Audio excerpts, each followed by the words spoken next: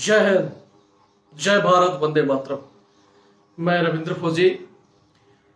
आज एक इम्पोर्टेंट बात मैं आप लोगों से करना चाहता हूँ। जैसा कि आपको पता है, मैं पूरा अवगत करा चुका हूँ आपको कि हम सहायक प्रथा के खिलाफ एक याचिका दायर कर रहे हैं कोर्ट में। उस याचिका में हमें कुछ कुछ समस्याएँ जो हमारे सामने आ रही हैं, मैं चाहता हूँ कि उस समस्याओं के बारे में मैं आपको अवगत कराऊं। ताकि हो सकता है किसी के माध्यम से उस समस्याओं का हल निकल सके। मैं तीन या चार पॉइंट इस विषय में आप लोगों से बताना चाहता हूँ और मैं चाहता हूँ कि उन पॉइंटों को ऊपर आप हमारी मदद करें ताकि हम इस लड़ाई को मजबूती से लड़ सकें।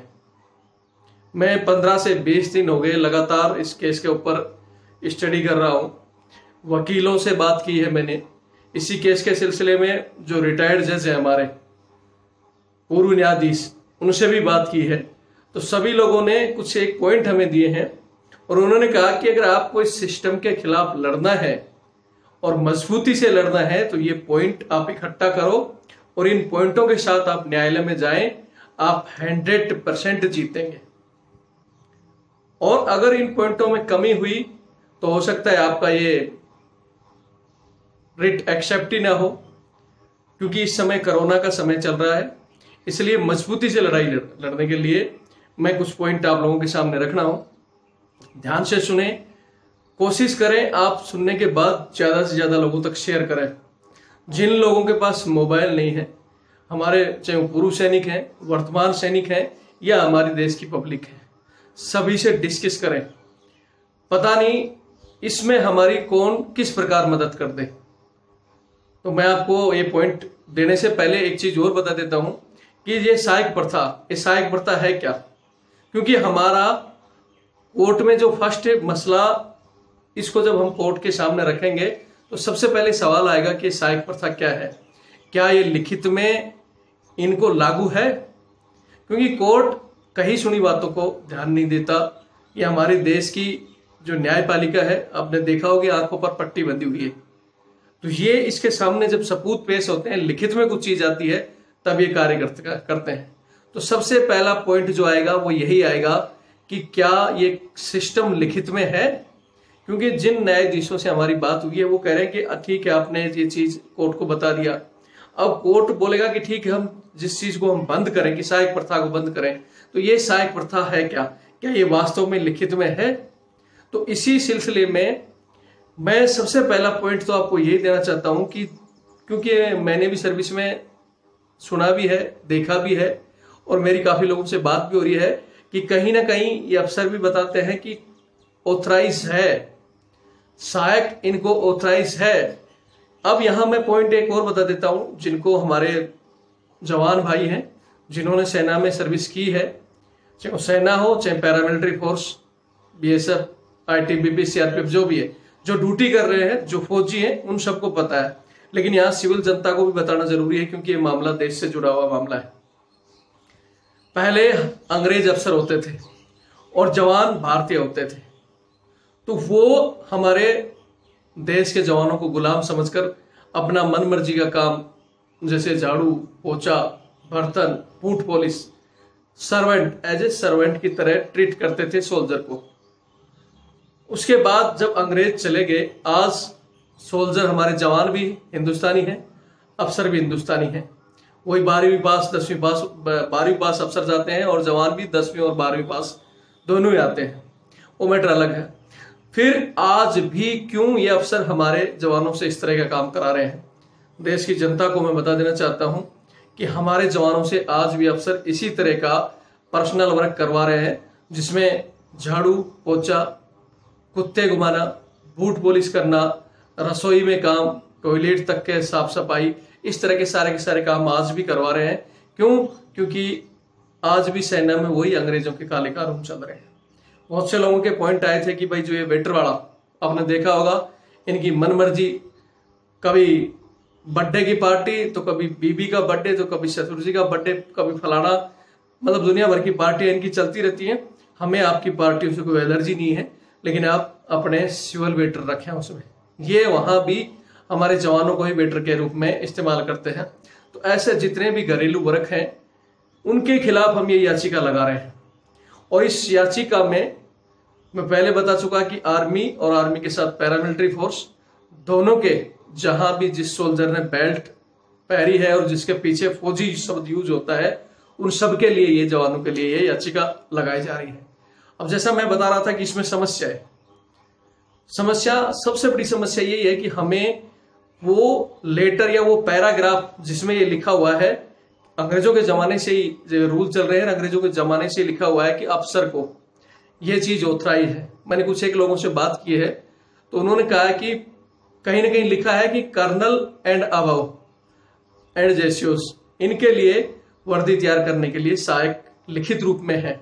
तो एक तो वो लिखित जो है, वो हमें चाहिए, ताकि हम उसको चैलेंज कर सके कोर्ट में और केस के लिए वो हमारी पहली सीढ़ी है।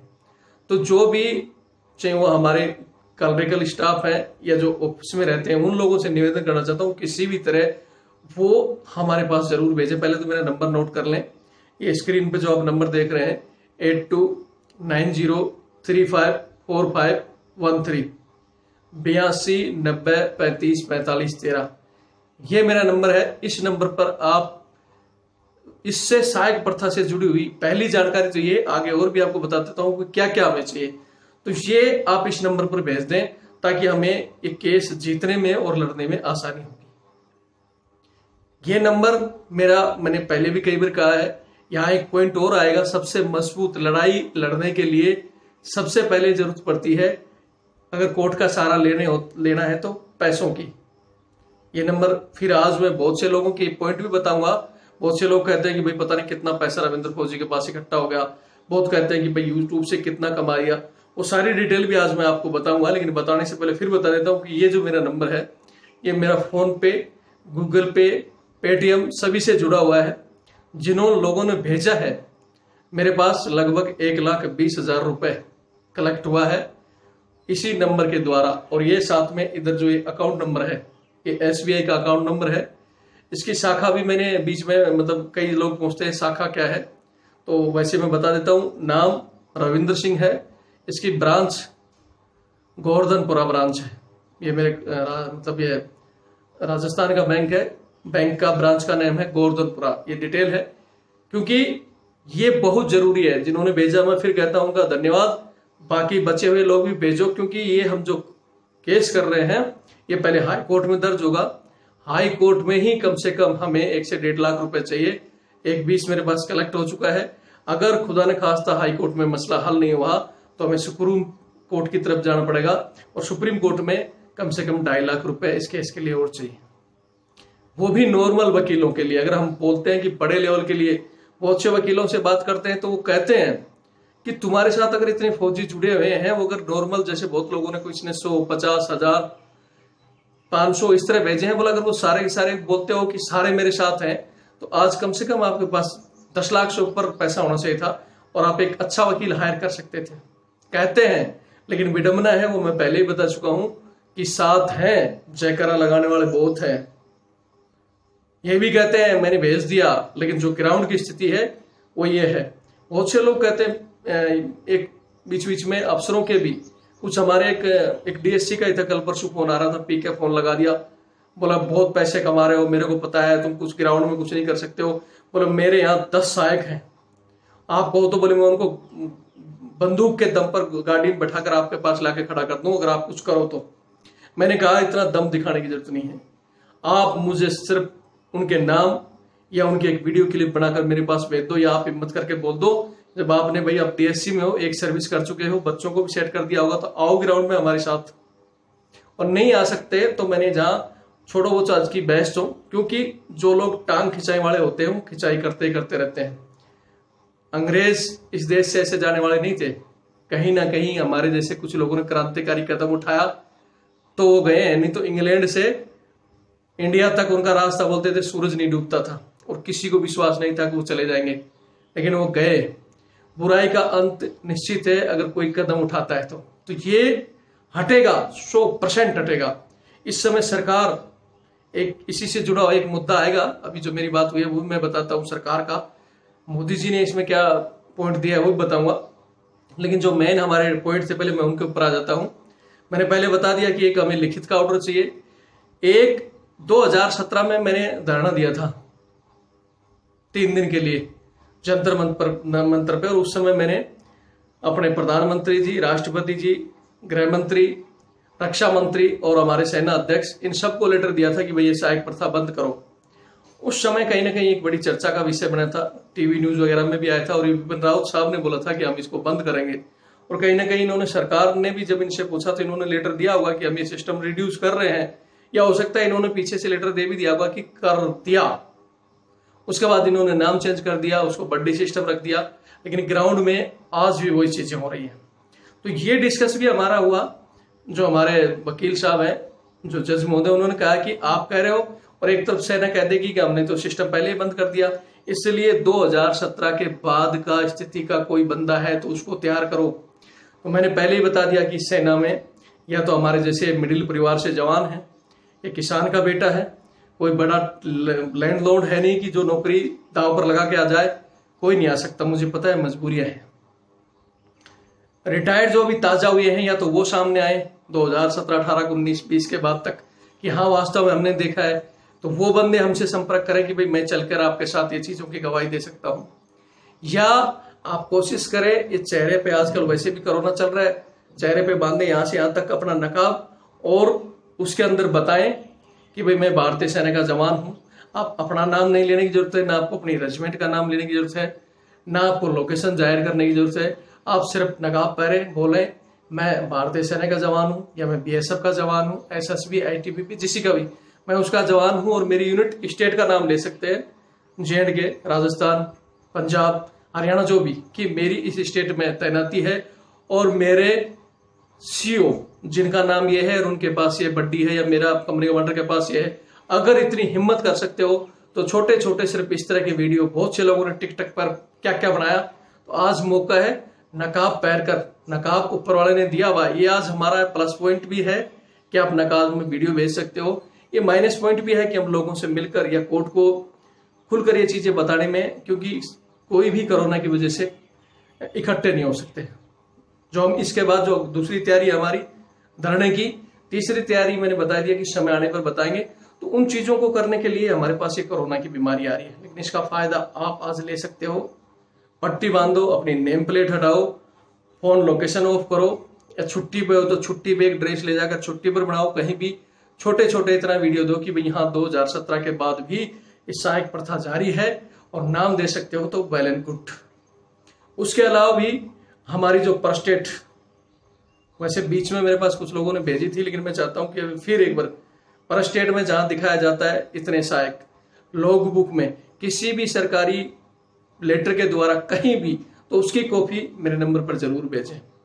कोशिश करें क्योंकि सीधा सीधा वकीलों ने और उन्होंने ये कहा कि अगर आप मजबूती से नहीं गए ये मौका आपके पास है। आप अगर आज लगा देते हो ये रिट खार, खारिज हो गई तो पहले बात तो इस काम के लिए बहुत कोशिशों के बाद बहुत दिनों में कोई तैयार होता है, मन बनाता है। और आप यहाँ तक पहुँचे हो, आपके पास लोग भी बहुत जुड़े हैं तो मजबूती से लड़ना, ऐसे नहीं कि ये खारिज हो जाए और फिर इस प्रथा को लंबा खेचे ये लोग।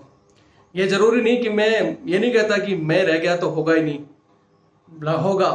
मैं चला गया तो मैं चाहता हूँ कि और हर स्टेट में रविंद्र फौजी पैदा करूँ, कोई दूसरा तैयार हो, तीसरा तैयार हो। लड़ाई बंद नहीं होती है, उसके लिए भी हम कार्य कर रहे हैं। हक मिलता है लड़ने से और मजबूती से लड़ने से, लेकिन ये मौका है, अगर आप इन पॉइंटों पर सहमत होते हो और जल्दी हमारा साथ देते हो तो हो सकता है ये इसी साल में ही ये सारा मैटर क्लोज हो जाए और ये जो दाग है वर्दी पे सहायक सिस्टम का, ये खत्म हो जाए। सहायक सिस्टम और पर्सनल परक जो लोगों ने मेरे को पॉइंट दिए थे कि वे वेटर का काम या इनकी शादियों में ले भी टीडी के नाम पर भेज देते हैं। कोई भी मैंने कह दिया, सरकारी काम के अलावा सारे के सारे पर्सनल वर्क बंद होंगे। और ये मैं इस वीडियो के माध्यम से हमारे सेना के जो अच्छे अधिकारी हैं, उनसे भी कहना चाहता हूँ तो या तो आप खुद एक मीटिंग करके इन चीज़ों को कोर्ट में जाने से पहले ही करवा दो तो आपका बहुत बहुत धन्यवाद। वरना आपके इस सहायक सिस्टम के चक्कर में जो आप ये चिप्सियाँ आपकी मेड में लिए घूमती हैं, और बहुत से पॉइंट है जिनको आप मिस करते हो, सारे के सारे धरे रह जाएँगे आपके। चलो वो मैटर अलग है। आज का वीडियो में मैं आपसे सारी निवेदन कर कर, कर मतलब जो मैंने बताया है इस पर ध्यान दें।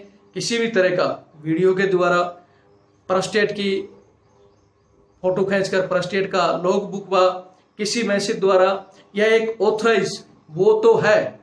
एक पैरा में लिखा हुआ है कि कर्नल एंड अबव के लिए अंग्रेज़ों के जमाने में ये सिस्टम लागू था और इनको ऑथराइज है। जेसियोस एंड कर्नल अबव। लेकिन रखते ये तो आपको भी पता है कि कल का जो लेफ्टिनेंट आता है, वहाँ से शुरू हो जाता है, फिर कैप्टन मेजर, यानी जो जो रैंक बढ़ता जाता है तो तो आदमी भी। पहले मेजर तक एक, जैसे ट्वाइस ही बने, लेफ्टिनेंट कर्नल, उसके बाद दो, सीओ के पास तीन, ऐसे ब्रिगेडियर के पास चार, ऐसे ऊपर जैसे जैसे जाते जाएँगे दस दस तक लोग ये नौकर की तरह एक जवान को ट्रीट कर रहे हैं। जब ये एयरफोर्स में सिस्टम नहीं है एयरफोर्स भी चल रही है, नेवी में भी नहीं है तो फिर ये हमारे आर्मी में ही क्या इनको एक तरफ़ तो कहता है कि बहुत आर्मी अफसर हार्ड होता है फिट होता है, देश उसके कंधों पर टिका हुआ है, भार लेकर चल रहे हैं। फिर ये कौन सा बार है? कि भाई तुम अपना खुद का वर्क नहीं कर सकते, तुम्हें वर्क करने के लिए भी एक बंदा चाहिए, तुम्हारे घर के लिए भी चाहिए। क्या लड़ाई लड़ोगे? खैर, वो मैटर दूसरा है। मैं चाहता हूँ कि वीडियो ज़्यादा लंबा ना हो। आज के इन फोक्स पर ध्यान रखें और बीच बीच में कमेंट्स के ज़रिए हमें जो और भी पॉइंट होंगे, वो मैं बताता रहूँगा और कोशिश करूँगा आज शाम को एक और लाइव के द्वारा और डिस्कस हो लगातार। और इस बार की लड़ाई आर पार की और मजबूती की हो। जय हिंद, जय भारत, वंदे मातरम।